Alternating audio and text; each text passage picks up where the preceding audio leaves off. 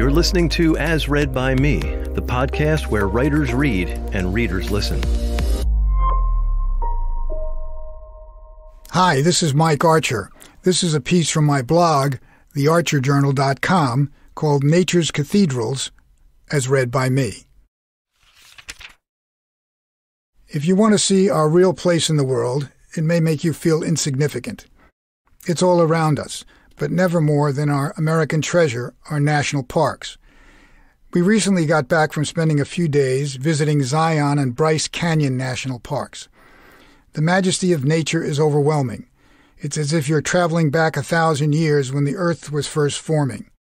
You're struck by the enormity of the rocks and cliffs that envelop you and the colors the greens, browns, grays, and most of all the reds. The reds range from a deep rust to coral. The texture of the stone has gradations from smooth to ridges that look like they were created by a baker putting the finishing touches on the icing of a wedding cake. The parks are part of the Grand Staircase, an immense stretch of sedimentary rock that stretches from Bryce Canyon through Zion in Utah and into the Grand Canyon in Arizona. Geologist Charles Dutton first realized nature's huge staircase rose from the bottom of the Grand Canyon northward in cliffs that formed giant steps. They were named for the colors of the rock pink, gray, white, vermilion, and chocolate. Everything in Zion takes its life from the Virgin River. The flow of water created cliffs and towers that have stood for centuries. Zion means promised land. It calls itself a sanctuary in the middle of a desert. Semi nomadic Native Americans started living there 8,000 years ago. That's how time and place are measured here, in thousands of years. It said you look up to the cliffs of Zion as you drive through. The earth tones reach into the blue sky, and you're enveloped by nature and its silence. You can hear the quiet. We then traveled north to Bryce Canyon National Park, with its natural rock formations called hoodoos, formed by frost and stream erosion.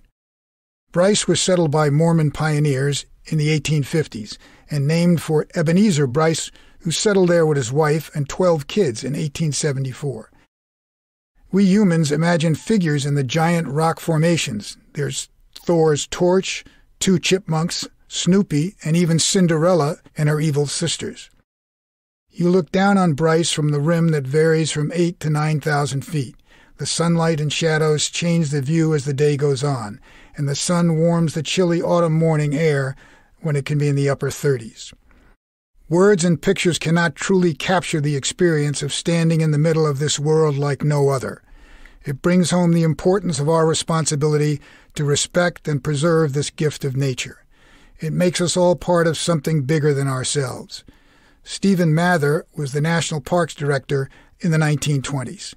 He said the parks do not belong to one state or to one section. They are national properties in which every citizen has a vested interest.